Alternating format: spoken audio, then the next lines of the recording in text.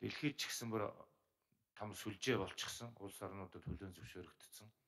Яг хуулийн дагуу гэрээ байгуулаад тэрнийхээ дагуу үйлчлэгээд явуулдаг ийм төвүүд бол ялангуяа гадаад сууж байгаа манай алчин сайдын яамдын тэр э, визийн үйлчлэгээ үзүүлэх ажлыг их хөнгөвчлөлт их зэгцтэй болгодог.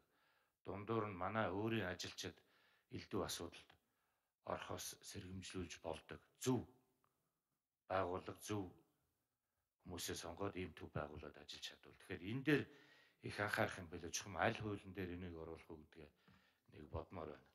За хоёр дахь зүйл нь 32-ын 3 гэж заалт байна.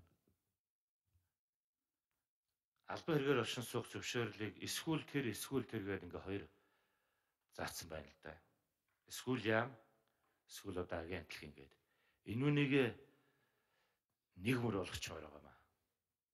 Журман дээрээ миний бодлоор бол яг юм албан хэрэгээр суух хүмүүсийн имийг тухайн улстай байгуулсан гэрээ хэлцээр элдв юмнуудыг харгалзаад ийм ийм гэрээтэй ийм үйл ажиллагаа явуулж байгаа байгууллагын хүмүүст ийм визийг олгож болно гэдгийг нэгдсэн журмаар ингээд гадаад яамнаас гаргаад тэрний ингээд байнга шинжилээд явж идэг. А тэрнийхэн дагуу яг зөвшөөрөл авах юм байна.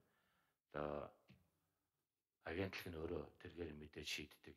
Энэ байдлаар явахгүй эсвэл гадаад ям эсвэл агентлагчул энэ дундаас чинь бидний нөгөө яриад байгаа эсвэл эзэнгүү болох эсвэл давхардах эсвэл тэрийг ингээд байгаад нэгэн дээр нь очихоор тэндээс суугаад нөгөөхөр нь очихоор эндээс суугаад ингээ хүн суртал гаргаад байх юм боломж гарах үедээ энэ заалтыг бас манай гişүүдч ажлын хэсгийн сумаар ажиллахтаа за хууль санаалж боловсруулж явж байгаа яамтай хүмүүс бас анхаараарай гэж хэлэх байна.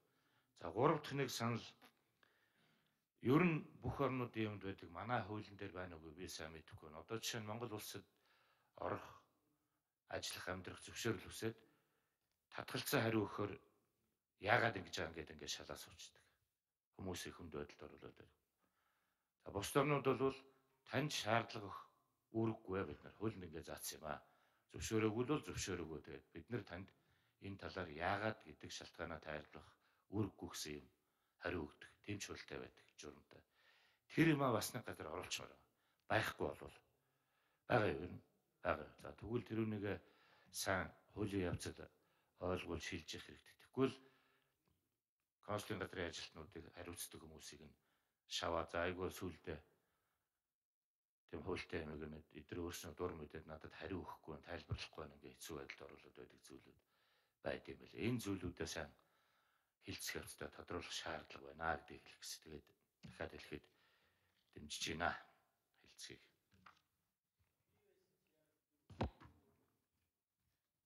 Саран гэрлэх шүү гэсэн. Саран гэрлэх шүү